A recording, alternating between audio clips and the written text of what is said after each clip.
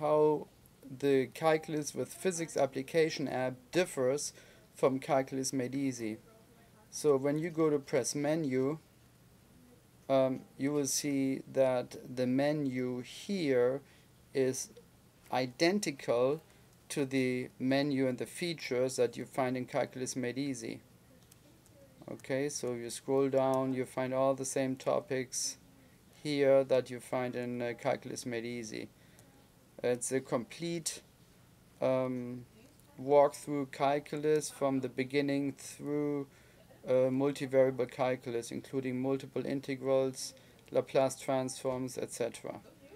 But what I want to show you now is where exactly this calculus with physics app differs from calculus made easy, which is option one here.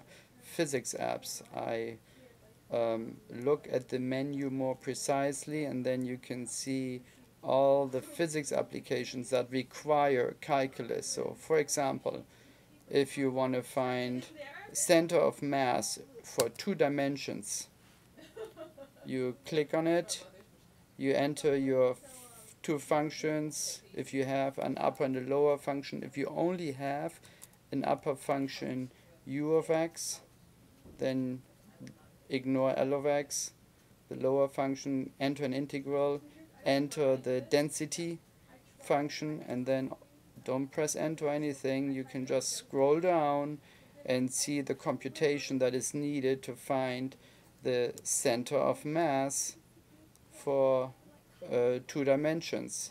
You see it x bar and y bar here, computed as m y over m divided by x, mx over m and here it is as a fraction. If you want uh, decimal answers, you will just change the 4 or the 1 to a 4.0 or 4 point decimal input creates a decimal output.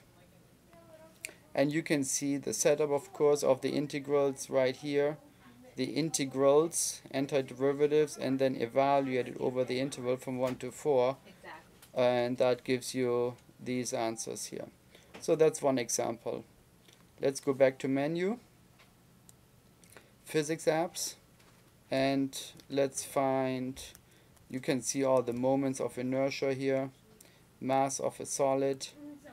I'm going to scroll down to just give you an idea of all the other applications, heat transfer, hydrostatic force, work is the integral of force, fluid force, Okay, so let's, for example, look at work is integral of force. That is straightforward. Force as a function of x. Enter it right here. Over the interval from 1 to 5. You just integrate the force function over this integral interval, sorry. 10 hours and you get 88 as a force. Well, that was a simple example. Let's do maybe one or two more. And if you have any questions, don't hesitate emailing us and we can answer your questions. Center of a mass of a solid three dimensions.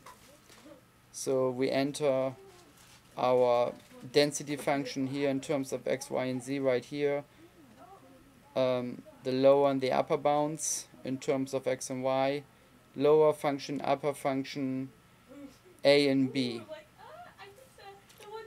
Okay, so if we now change um, the density function, let's say it's going to be z times x, and I scroll down here, you can see there's much more computations involved because we have here um, um, uh, three integrals involved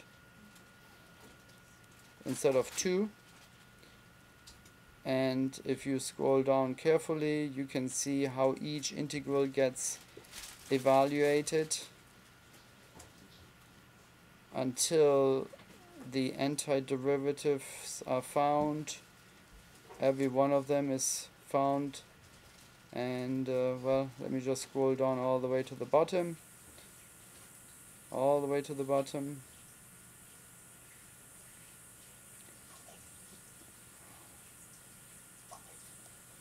okay mass of solid m is found right here also as a triple integral and you can see how the bounds change in terms of inner integral in terms of x and y then in terms of x and then just a number. And then finally you end up with a center of mass of uh, a 3D in terms of x, y and g is right here. Again if you wanted to have a decimal output you would have to just change the input to a decimal instead of a whole number alright so again let's take a last look at the menu for physics apps. And if you have any more questions or if you would like us to add more um, calculus based physics apps just send us an email. All of this is available at uh, calculus with physics applications. Thanks for watching